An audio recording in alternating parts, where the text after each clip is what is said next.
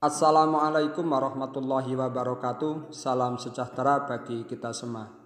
Oke kawan-kawan, topik kita kali ini adalah cara menentukan posisi terminal pada koil pengapian.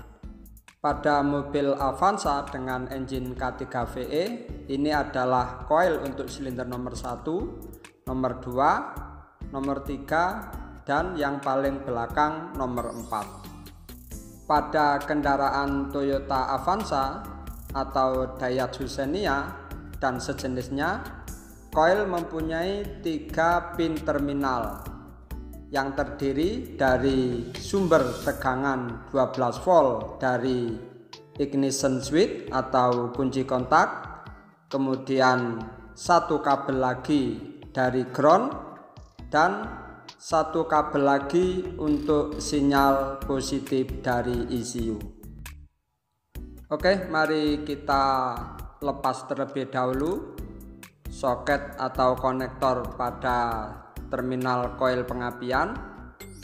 Di sana ada empat tetapi yang terisi hanya tiga.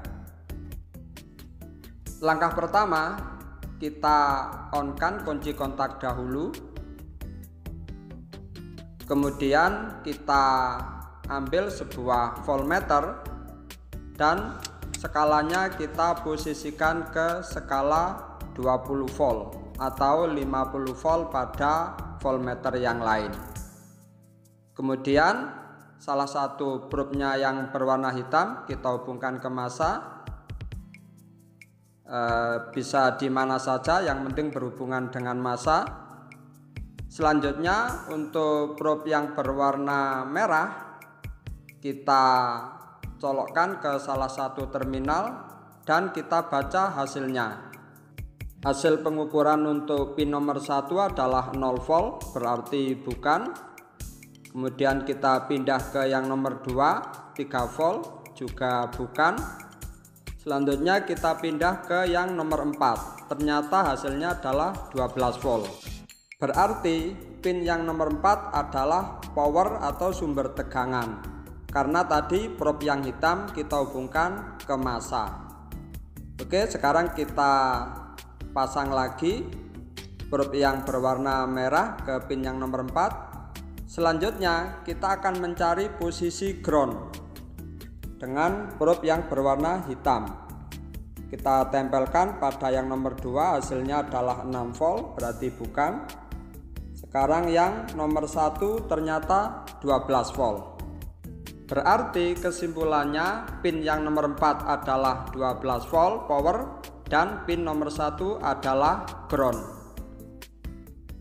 Jadi karena jumlah kabelnya hanya tiga, jika tadi sudah ketemu yang nomor 4 ini adalah power untuk 12 volt dan yang nomor satu ground, tentu yang nomor 2 adalah sinyal dari ECU yang tadi pada saat kita ukur dengan power 12 volt penunjukannya adalah sekitar 6 volt. Oke sekali lagi kita pastikan yang nomor 4 ya ini adalah power 12 volt. Kemudian yang nomor satu adalah ground ini nomor satu.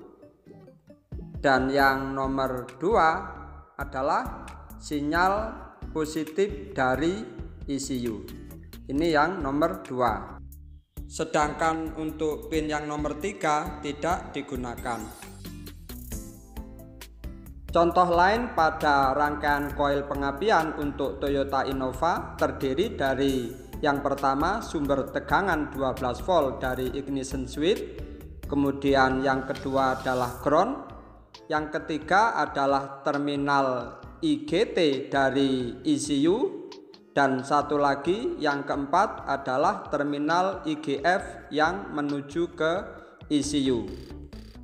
Untuk menentukan mana yang terminal untuk IGF dan mana yang untuk IGT setelah posisi terminal power 12 volt dan ground ditemukan maka selanjutnya kita ukur dahulu antara terminal 4 dan 2 hasilnya adalah misalnya 6,9 volt.